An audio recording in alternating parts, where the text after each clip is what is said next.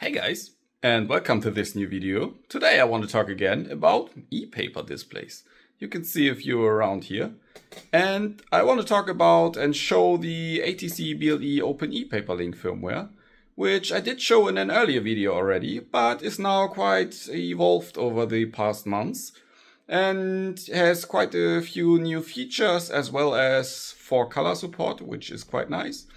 In general, this firmware is basically a replacement for electronic shelf labels uh, of original firmware to reuse them and being able to drive them via the Open ePaper Link access point or directly via Bluetooth Low Energy. And the only requirement really is to be then based on the Telink TLSR microcontroller chipset, which is quite the cheap and widely used one, as you can see with all the supported displays in the background. Let's talk about how to flash it, how to use the web tool, and how to also use it via the Open ePaper Link access point. And yeah, let's get started. Let's start by taking a look at the web Bluetooth tool and yeah, web uploader slash firmware flasher. This one has two basic modes, uh, which is for one this very simple overview where you can just simply connect to the e-paper display, select an image and upload this. So I have this display connected here and by default it will just print some basic text text and if I click on upload image it will do it and since this image is so small and compressed it will not take a long time. The upload is done already and will be displayed in a moment.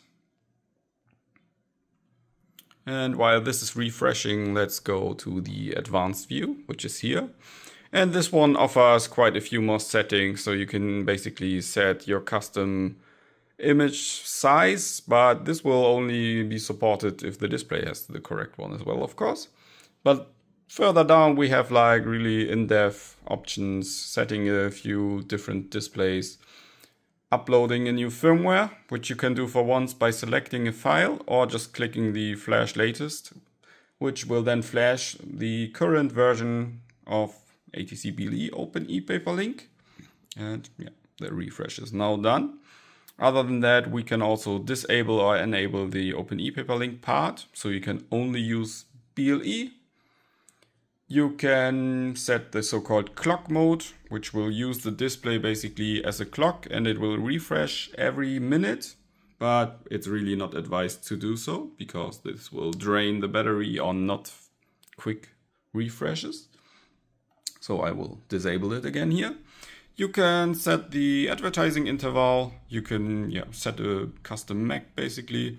You can reset the configuration so it will reset the MAC address, etc. You can just disable Bluetooth Low Energy, but then you are not able to connect to it via BLE, of course. You can either use it via Open ePaper Link directly or need to reboot the um, display. Or you can just set it to deep sleep, which will basically yeah, let it be silent until you want to activate it again via either. This is quite a nice feature. If available via NFC, you will just basically hold your phone onto it and it will yeah, wake up the device again. Or you need to bridge the reset and ground pin in the back of the display, which you can see here in an example, for example. So you would bridge the NRST and ground pin so it will wake up. Uh, here's, for example, one sleeping. But enough of rambling. The next part is the so-called hardware configuration. This is not really needed for the daily use and more likely to adapt new displays into the firmware. And there you can set the basic pin out and screen resolution and such. The next part is uh, the lookup table playground, which is used to basically create faster lookup tables to be able to refresh in yeah quicker time and you can also use it to basically download the current lookup table out of the display which it will show here then. This is also done via BLE, of course. And then the last part, which is now interesting for flashing new displays, is basically this UART flasher, where you can open the USB port. And I will go onto the hardware side in a moment. You can select the display you want to flash to, but you don't have to. You can also do this later via BLE. And you can also select the custom firmware file or just load the latest firmware and yeah, write this firmware or the firmware and the type into the display. Since uh, this is a universal firmware, each of these displays runs the same firmware and has only a configuration to set what display it has, if it has NFC, if it has LED uh, support or further. So that way only one file is needed and via this setting a special setting area is flashed as well. And other than that, this is the basic tool and the normally daily use. If you just want to upload an image would be this one where you can yeah, basically select an image. It will be dithered to the colors available and then you can upload it and you can see this being done right now. But okay, yeah, let's continue on how to flash the displays.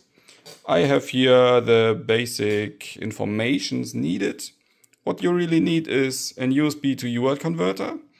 And so far the best is really like a, v, a WCH340 version, which you can see here.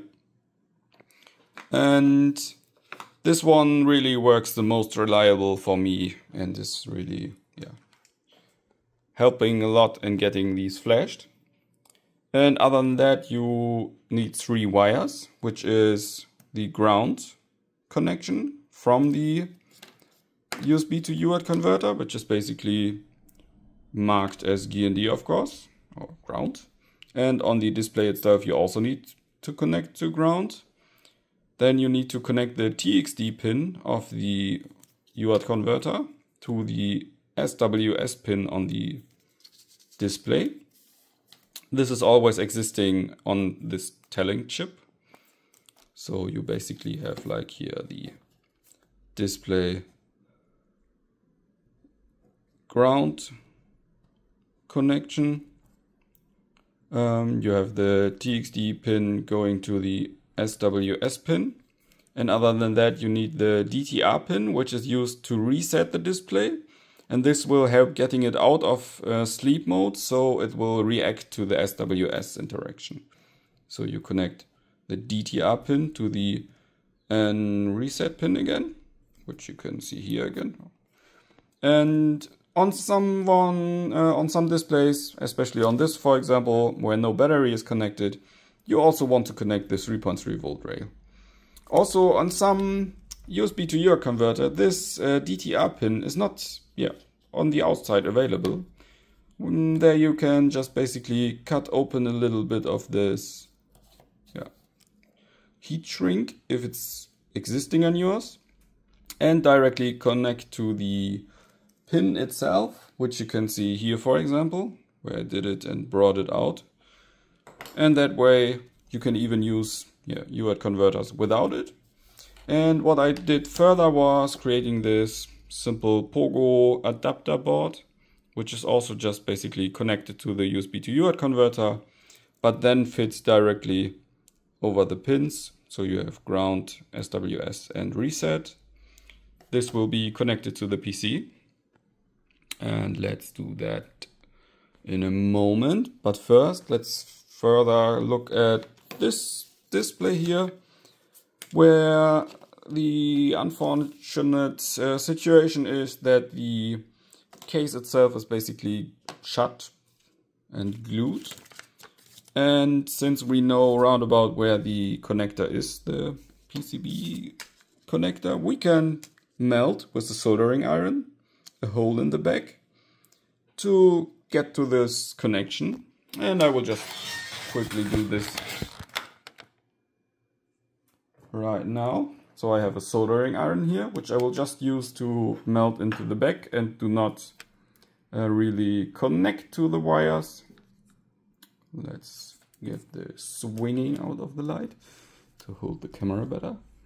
So what we want to do is mark on two positions where you, we want to melt and then stick the soldering iron basically inside of it. Let's get the focus better and just pull the plastic away like so. You can see the connections inside of it. Sometimes you just need to open it up further, but you can see it quite well, like so. The soldering iron can be turned off again because this is all that is needed of it. After that we can take an X-Acto knife and cut away the excessive melted plastic like so and then we should be able to stick the pogo pins in the back at the right position and press it down basically. And the next part is then to connect the USB to converter or the UART converter to the PC which I will do with this USB cable. And now one hand but okay. Like so. And then we would go to the advanced view, scroll down to the UART flasher, click on open and select the COM port. You need to have the driver installed, of course. After that, all the um, correct buttons will be activated. And yeah, right now the firmware is not flashed. I will select the correct type, which is the 2.9 inch. Um, should be this one you'll need sometimes to play around a, a, bit because on some displays you have like four or five different versions um, and only one works because the display on some is different inside. Then we yeah can basically connect the Pogo adapter and click on load the ATC firmware and it will now activate it. Uh, well, basically, I need to write it, of course, but it will activate and flash the firmware. And while that is running, I'm just holding the adapter onto it,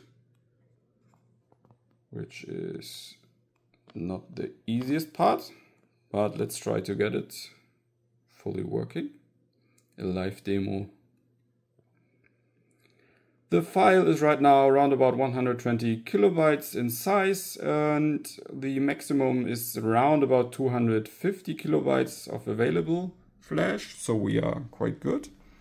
After this is done, we can yeah, remove the adapter and the display should reboot as it will directly have the correct configuration. And this is basically all that is needed from flashing. It will for once search for an open ePaperLink access point, which you can see by this access point found text. And other than that, we can yet, uh, we can also now um, disconnect from the current display, enter the uh, last three bytes of the MAC address to filter for that ID and do not be um, disturbed by too many other displays. So basically you enter the bytes, you click on scanning and it will look for this new display now. And it should appear via Bluetooth Low Energy and Web Bluetooth in the browser. So we are again able to connect it. This takes quite a long time on the PC sometimes, depending on how many devices are around. But you can see it did find it now. On the smartphone, this is really like working way faster and better. And it will now connect to the display. And after it is connected, it will request from the display what display it is really. So the pixel, the resolution, and also the available colors. And after that, you can yeah, basically upload a new image. Or we can go back to the simple view to just have a better and simpler UI. And can yeah, we can click on upload, as the name would should suggest. And after that, the image is transferred. Like so. And after that, we can now also take a look at the OpenEpaperLink access point, which we can see here. And it's basically the old usual OpenEpaperLink access point. And you can already see the new display did yeah, appear here. And here we can now also just basically set our content we want to show and it will yeah wait for the display to look out for it. We first need to disconnect from Bluetooth Low Energy, of course. Otherwise, it will not yeah do the OpenEpaperLink um, connection. And you can see also this upload works quite well. And here uh, also is now the NFC implementation running. So if we hold the smartphone onto it, with NFC enabled, we should be able to wake the display up via NFC. And this will instantaneously ask the OpenEpaperLink access point for new data. And you can also use this NFC wake up somewhere else, like in Home Assistant or so. And one further part is the LED integration, which I now need to see if I can even figure this out without problems and quickly enough. So we need the MAC address for it and can basically fill the MAC address and the LED pattern in the URL of the OpenEpaperLink access point. Trigger it.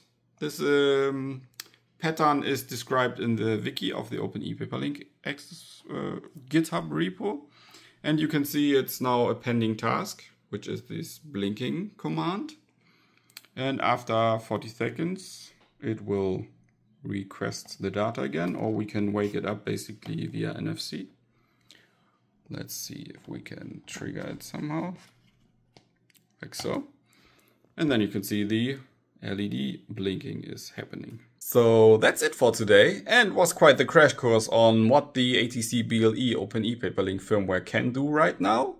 There might be more updates, or most likely will be more updates and more display types supported. Right now you can see it's like from 1.54 inch up to 12 inch. And yeah, I'm quite happy how good it works right now. The battery consumption is really made to the lowest possible. And yeah, see you again in the next video.